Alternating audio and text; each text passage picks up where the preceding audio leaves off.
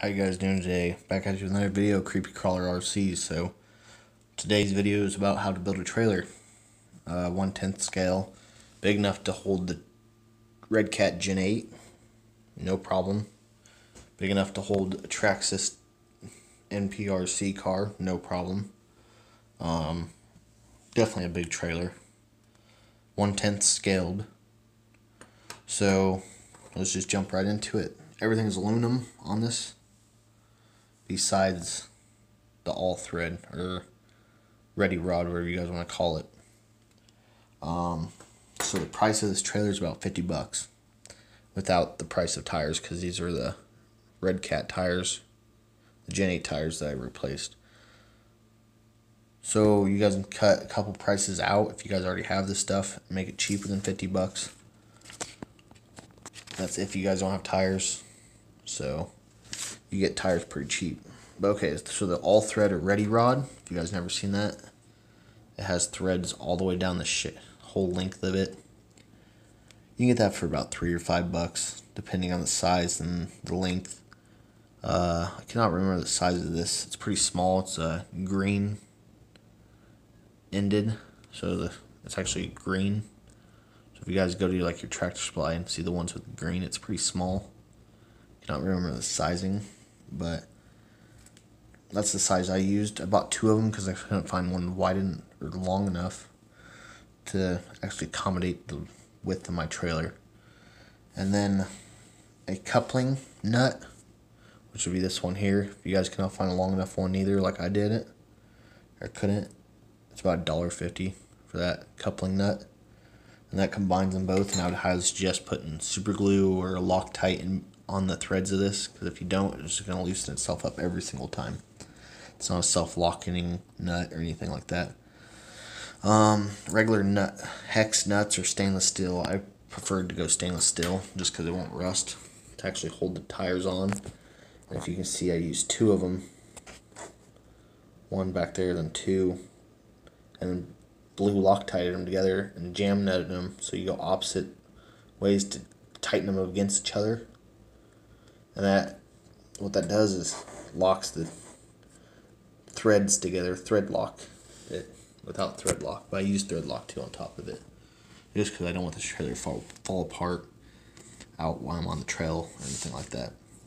Um, for the actual framing of it, I used and fender. I use this stuff here. It's a half inch by half inch angle aluminum. I got this 72 inch piece that was half inch by half inch, like I said angle for nine bucks. I used two of them. Didn't even use it all. But I used one full one plus a little more off the second one. But I bought the full length one because I wanted more to go. Um, you're going to need aluminum sheet if you want to do this aluminum top.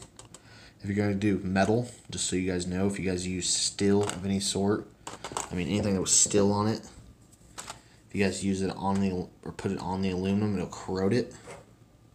Just like this stuff here it'll corrode it eventually. And it'll wear through the aluminum or eat through the aluminum because aluminum still have a property that they don't get along, so they just eat at each other. Um, then tires, I mean, you get them for 10, 15 bucks, depending, even five bucks, depending on where you guys get them from, what size you need. These are one and a half, 1.9s. So it depends on the size of tires you guys need. Um, like I said, aluminum is definitely good to use it with aluminum. So aluminum rivets, one fourth sizing, or one eighth, my bad, one eighth sizing, one fourth length. So you're gonna need a bit that's a one eighth. See, one eighth to fit it in. And there it is. There's a rivet. If you guys never seen one, it's aluminum, very easy to rivet. Aluminum washer or or backup washer or backing washer, whatever you guys want to call them, to fit it. And what that does is actually help keep the rivet from tearing through or help keep it tighter or strong against the pieces of metal. I like to use them on a lot of stuff, so definitely nice. But like I said, make sure you use aluminum with aluminum.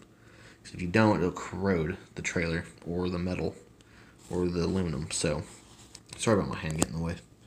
So to cut this stuff, all I used was a pair of tin snips, but you guys can use a metal Dremel bit or a metal hacksaw blade.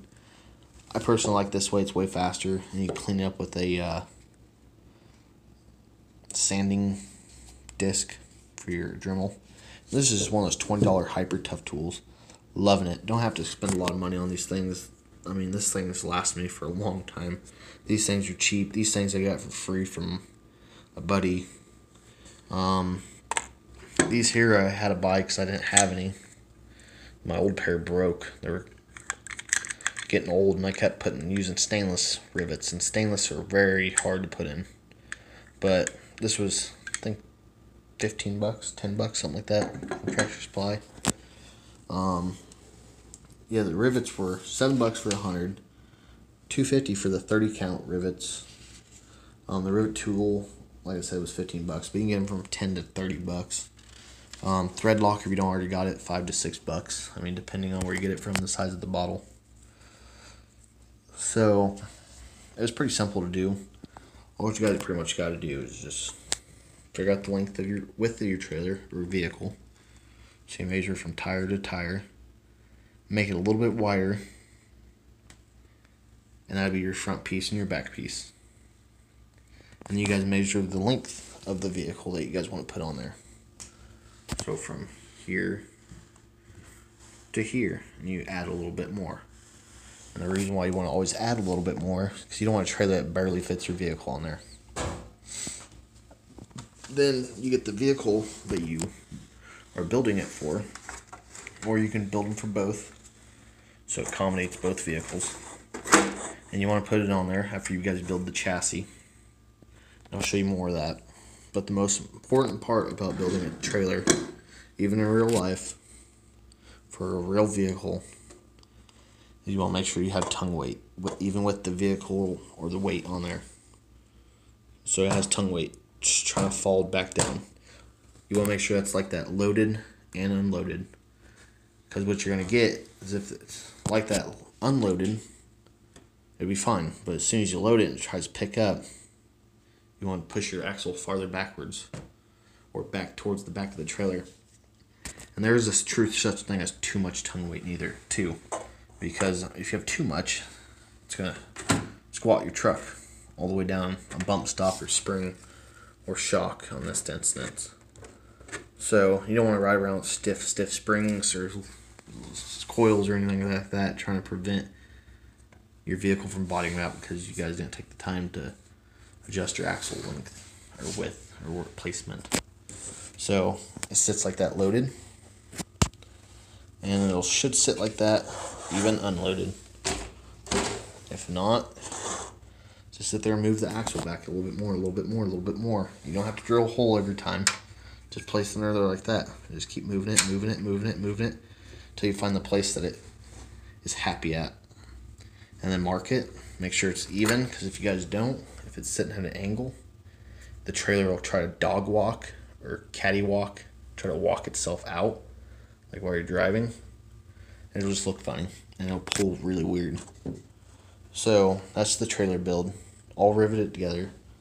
Like I said, it's very simple to do. Very simple tools. Instead of spending two hundred some dollars on a trailer, you guys just make one for fifty bucks. No, no bearings. I know a lot of people put bearings in theirs, but I'm not gonna draw haul this thing from here to Camp Hayes, Florida. Come on now, I'm not gonna haul this thing for millions of miles.